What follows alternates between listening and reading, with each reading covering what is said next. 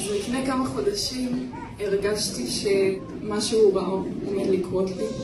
והייתי בטוחה שזה סוג של מחלה, כנראה משהו רפואי. ובאמת גיליתי איזשהו נגיף ומצאתי פרק בתהילים. אמרו לי לקרוא אותו כל יום במשך חודש כאשר היום האחרון הוא השביעי באוקטובר. כל יום אמרתי את הפרק הזה ופתאום התחלתי לשים לב למילים והמילים זה לא רפואה שלמה. פרק מדבר על מלחמה ואלוהים תציל אותי.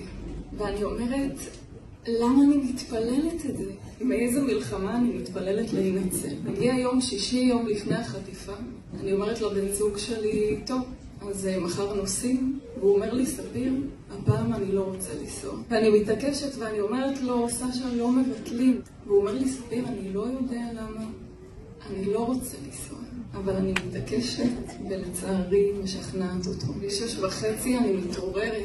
יש בומים חזקים, אני בחיים לא שמעתי כזה דבר. אחרי כמה שניות צבע אדום, צבע אדום. אנחנו מתעוררים, אין לנו ממ"ד היינו בחדר אירוח פשוט מבול של רקטות. אנחנו שוכבים פשוט כמו סרדינים צפופים לקיר אחרי שעתיים בערך. מגיעה הודעה מאמא שלו יש מחבלים בבארי בארי זה 15 דקות מניר עוז אני הייתי בקיבוץ ניר עוז ואני כבר נכנסת לפחד היסטרי. אני מתחילה לרעוד אני מתחילה להזיע מרוב פחד אני מגלגלת את עצמי בשמיכה שמה מעליי את המיטה. אחרי כמה דקות אללהו אכבר כל הקיבוץ בלאגן, בלאגן, צעקות אנשים, לא יודעת, שוברים שם דברים. אנשים צועקים, אם זה המחבלים, אם אללהו אכבר אם זה כל האנשים בקיבוץ שרוצחים אותם, שיורים בהם. בשלב הזה אני מבינה את המשמעות של התפילה שלי. אני מתפללת בלופים. מה שעובר לי בראש זה שתכף ייכנסו ופשוט ירססו אותי ביריות. הפילו את הדלת, נכנסו לבפנים. אני שומעת את החבר שלי צועק תרדו ממני, תעזבו אותי. אותי מגלגלים מהשמיכה אני מבינה שעדיף לי לקום וללכת. אז אני קמה יוצאת משם אנחנו מוציאים אותנו בנפרד לצערי מאז לא ראיתי אותו. שנייה אחרי שעליתי על האופנוע ראיתי אותו בורח והייתי בטוחה שהוא מחכה לי פה. אותי מעלים על האופנוע תמונה מפורסמת עם שני מחבלים.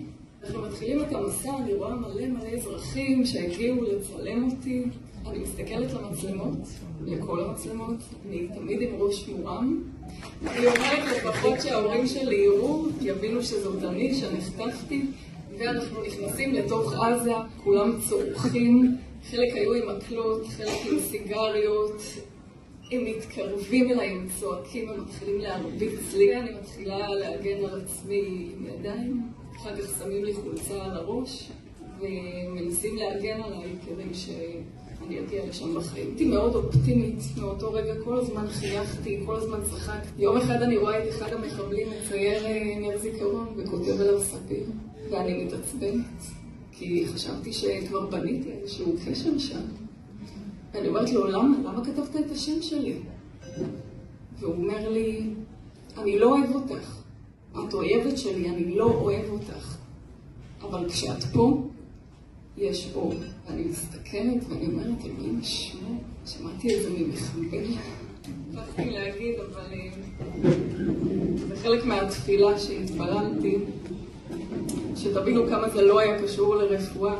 צריי ואויביי לי המה כשלו ונפלו. אם תחנה עליי מחנה לא יירא ליבי. אם תקום עליי מלחמה בזאת אני פותח אחת שאלתי מאת אדוני אותה אבקש?